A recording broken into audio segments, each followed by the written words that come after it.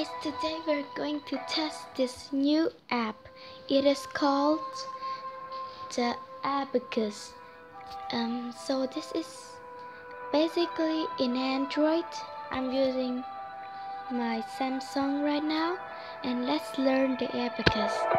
First, one. This is one. You see the number. It appears at the bottom of the screen.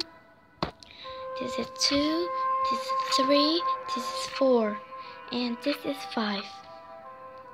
The upper one, it contains 5.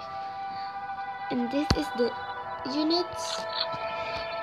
The, all of these, the brown, the brown circle are called the beat. So, if like, we do like this, it's called 10, a hundred, a thousand, ten thousand, a hundred thousand, um, like that. So let's try to do two plus two. Two plus two. That is four. You can see the number at the bottom. How about four minus three plus two? Four minus three plus two and the answer is 3. Um, there's something you tell. If it is like this, it's 50 because 5 is in the 10 row, so it's 50. So in the first lesson, we're gonna learn at a units row. First is let let me tell you. One, two, three, four, five, six. Five plus one is six, so that is six. That is seven. That is eight. That and that is nine. So the number is nine, and if we want to make ten, it's like this. But we'll get into that in the next lesson. So, example.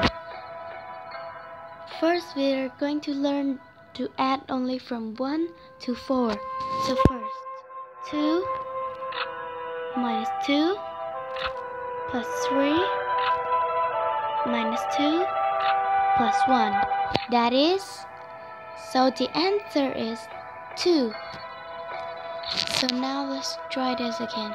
What is 3 plus 1 minus 3 plus 2?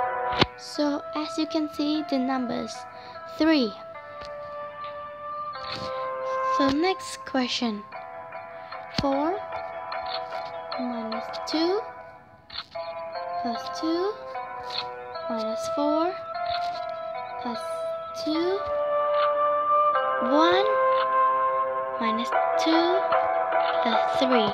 So the answer is 4.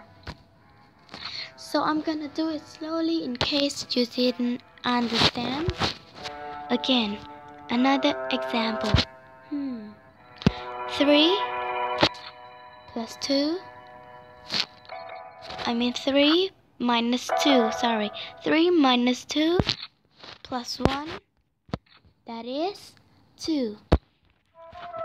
4 minus 4 plus 1. That is 1. So let's, I'm gonna let you do this. I'm gonna ask you a bunch of questions and you're gonna try to do it using the abacus. If you don't have one, just pretend or just look at a picture and imagine that you're using the abacus. So here's the question. What is 2 plus 2 minus 3 plus plus 1 that is so the answer is 2 so I'm gonna give you two more example. Yeah two more example. I'm gonna give you two more example. 3 plus 1 minus 4 plus 2 plus 2 minus 3. So what is the answer? So if you got it right, the answer is 1. So this is this is a short video. Hope you guys enjoyed this video. Please subscribe and try to practice this at home. I hope you learn a faster way to add.